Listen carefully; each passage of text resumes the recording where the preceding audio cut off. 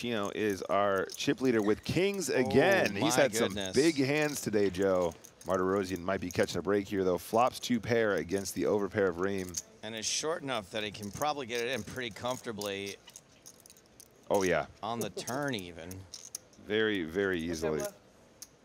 Oh, maybe even on the, maybe this will be a one street hand, as they say. I think it probably will be. It's just Now such that a raise has happened, yeah. such a wet texture. He's going to have a bunch of one pairs and draws and stuff like that. It's just going to go in the middle every time. Why waste time? I mean, how can you not love Chino? And now has a few more cards to fade. Counterfeiting is real. Kings and fives better than eights and sixes. Counterfeiting is one of the worst ways to go.